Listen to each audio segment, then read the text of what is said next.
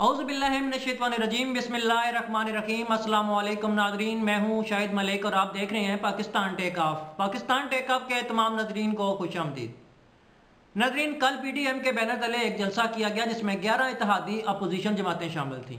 और इन ग्यारह इतिहादी अपोजिशन जमातों में जो लोग इस जलसे में शरीक हुए, वो पिंडाल तो नहीं भर सके, लेकिन एक आम रिपोर्ट है जिसके मुताबिक 35 से साठ हज़ार के दरमियान लोग इस जलसे में शरीक थे। बहरहाल, पिंडाल नहीं भर सका था। इस जलसे की खास बात नवाज़ शरीफ की तकरीर थी, जो सिर्फ़ सोशल मीडिया पर देखी जा सकती थी। और नवाज़ शरीफ इस तकरीर में एक माउथ पीस का काम कर रहा था, क्योंकि इसको पीछे कोई और पर्चियाँ लिख कर दे रहा था। ये हमेशा से माउथ पीस रहा है, कभी जयाल हक का तो कभी किसी और का। इससे पहले नौ जमातों का इतिहाद देखने में आया था। अब यह ग्यारह जमाती इतिहाद है। उस वक्त इस नौ जमाती इतिहाद को नौ सितारे कहा गया था। और ये पीपल्स पार्टी के खिलाफ था। नाजरीन 88 की बात है। इस जलसे में नवाज़ शरीफ ने जिस तरह पाकिस्तान आर्मी, पाक अफवाज और जिस तरह चीफ ऑफ़ आर्मी स्टाफ पर बकवासियात की हैं, ये इसी का खासा है। और कोई ऐसा नहीं कर सकता। और मैंने पहले कहा है कि ये माउथ पीस है तो यही काम इंडिया भी कर रहा है। और दूसरे वो मालिक जो पाकिस्तान के मुखालिफ हैं, पाकिस्तान के खिलाफ हैं, पाकिस्तान की सलमियत नहीं चाहते, वो भी यही कर रहे हैं। बहरहाल, ये ग्यारह जमाती तहत ग्यारह बड़े डाकू इकट्ठे हुए हैं, हम लोग भूल जाते हैं। पाकिस्तान की आवाम शॉर्ट टर्म मेमरी है, गजनी लोग हैं, भूल जाते हैं। नजरिन, पाकिस्तान के बनने के बाद किस तरह का सियासी माहौल पनपता रहा है? आइए थोड़ा सा जायज़ा लेते हैं उसके बाद इस जलसे का थोड़ा सा अतिया पांचा करेंगे। बानी एक पाकिस्तान जनाब कायद अजम मोहम्मद अली जनाब पाकिस्तान बनने के एक साल और सताईस दिन के बाद बवजह है बीमारी वफात पा गई कहा जाता है कि उनको जो एंबुलेंस दी गई थी, वो एंबुलेंस ख़राब थी और वो रास्ते में ख़राब हो गई, जिसने कायद अजम मोहम्मद अली जना को, बर वक्त अस्पताल न पहुँचने पर, तभी इमदाद न मिलने पर रास्ते में ही वफात पा गए।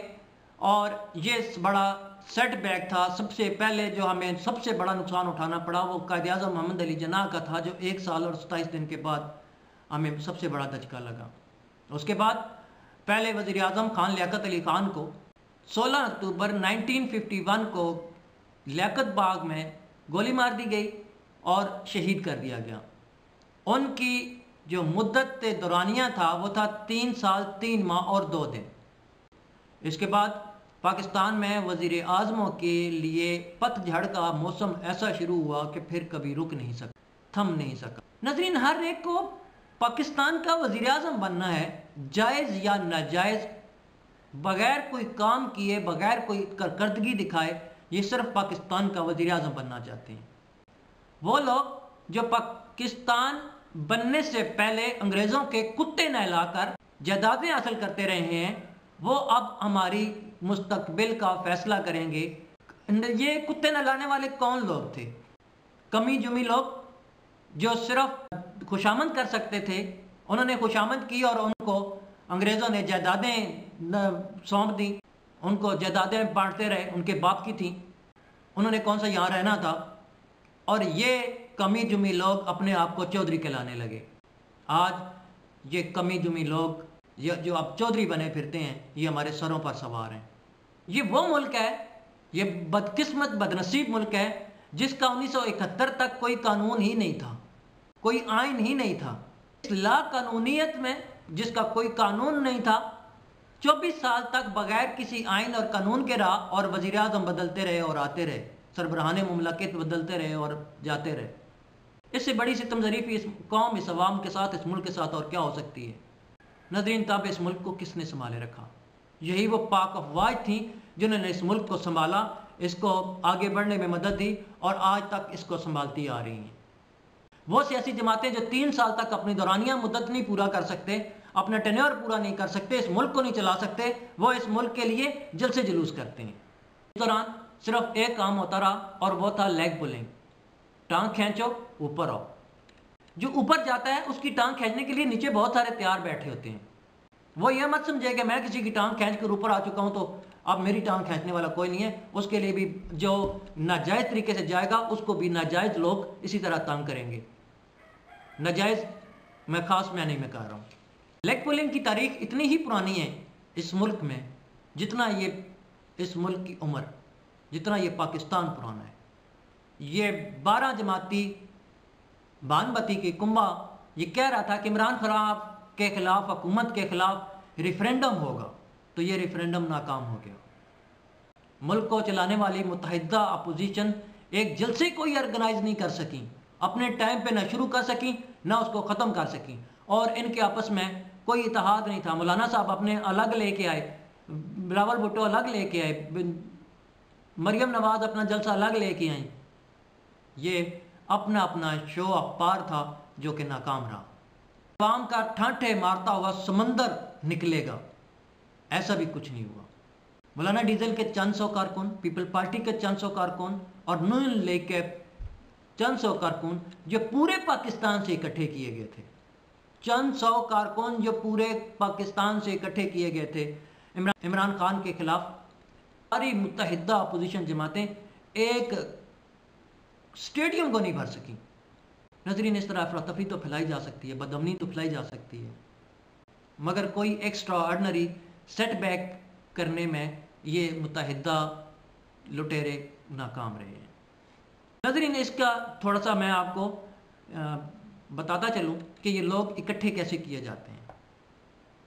हर देहात, हर कस्बा, हर गाँव में एक या चंद लोग सरकर्दा होते हैं, जो अपने गाँव, अपने महल्ले या अपनी गलियों का ठेका लेने के लिए या अपनी गलियाँ पक्की कराने के लिए अपने इलाके के एमएनए या एमपीए के पास जाते हैं। वही जो एमएनए के पास जाते हैं, वही लोग होते हैं एमपीए के पास जाने वाले। और उनके साथ गाँव के चंद लोग होते हैं।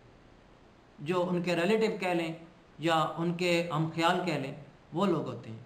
और वो जो एक सरकर्दा आदमी होता है, उसकी ये ड्यूटी होती है कि जल से जुलूसों में लोगों को गाड़ियों में भर के लाया जाए। ये गाड़ियाँ उनको एम एन ए या एम पी ए फराम करते हैं या उसका किराया देते हैं। ज़्यादातर ये लोग क्योंकि खुशामदी होते हैं, ये खुशामदियों के आगे फिर खुशामदी होते हैं, जो ये ज़ाहिर करने के लिए कि वो आपका बहुत बड़ा हमदर्द है हम खारख्वा है और अपने जेब से वो गाड़ियाँ लेकर जाता है। और ये उसके फ़ायदे की होती है। अगर वो ऐसा करता है तो जो गली महल्ले का पक्की करने का, नालियाँ पक्की करने का जो ठेका मिलता है, उसमें से भी उसको हिस्सा मिलता है। ना हिस्सा मिले तो वो इतना फारिग नहीं है कि अपने बाल बच्चों का पेट भरने की बजाय वो इन जमातों के जल से जुलूसों में शिरकत करे। हम हमारे पास किसी के पास भी इतना टाइम नहीं है कि हम फजूलियात में जलसों में शरीक, शिरकत करते रहें। इन लोगों ने जाना ही होता है और जाना भी चाहिए।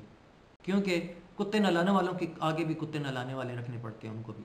नजरीन जो आप लोग इस जलसे में शामिल थे और वो लोग ये जो जलसा मनद करा रहे थे और बड़ी तीन जमातें, नून लीग, पीपल पार्टी और मौलाना डीजल। इन तमाम लोगों की दर्जनों गाड़ियों ने कोई टूल टैक्स नहीं दिया। ये टूल टैक्स आपका पैसा था। ये आपका हक था, जो इन लोगों ने नहीं दिया। अब फिर भी इनके पीछे जाते हैं, इनके पीछे नारे मारते हैं, इनकी गाड़ियों को चुमियाँ देते हैं, इनके ऊपर आप फूल नचावर करते हैं। एक तो ये टैक्स नहीं देते। ऊपर से आप अपना खर्चा करके आप अपने आप को भी पाल रहे हो। इन वजीरों मशीरों को भी पाल रहे हो और उसके बाद इन अपोजिशन जमातों को भी पाल रहे हो, फिर इसके ऊपर और खर्चे कर रहे हो। और वो खर्चे क्या हैं? जो आप इनके ऊपर पूल निछावर करते हो, अपना वक्त ज़ाया करते हो।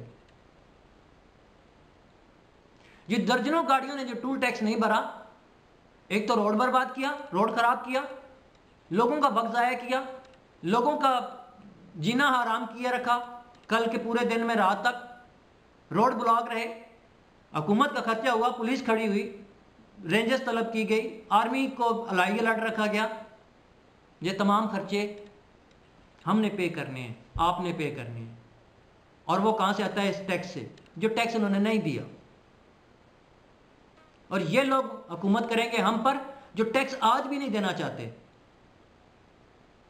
और ये आपके बहुत बड़े गम खुआर हैं खैर खुआ हैं।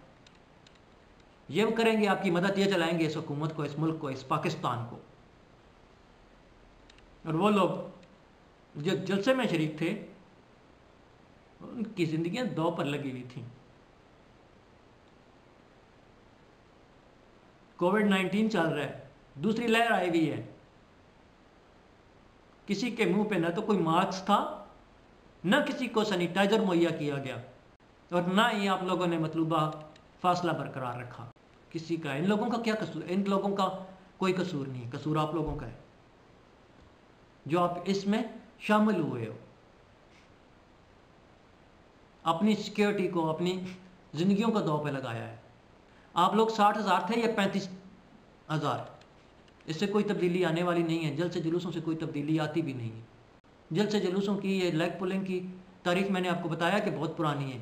इतनी पुरानी है जितना कि पाकिस्तान। ये हुकूमत आप जैसे लोगों की वजह से करते हैं। हम अगर बेवकूफ़ ना हो ना तो ये हम पर लुटेरे मुसलत ना हो। इससे पहले मैं बता चुका हूँ आपको कि नवाज़ शरीफ ने नौ जमाती इतिहाद बनाया था, नौ सितारे जिसको कहा गया था। ये अट्ठासी की बात है। आज ग्यारह जमातें हो गई हैं। अगले इलेक्शन में तीन साल हैं। मैं भी कोई बड़ी तब्दीली आ जाए उन इलेक्शन में यह हुआ खड़ा कर लें। दस बीस सीटें फालतू ले लेंगे, लेकिन मुझे नहीं लगता। अब पाकिस्तान की ज़्यादातर आवाम बाशूर हो चुकी है।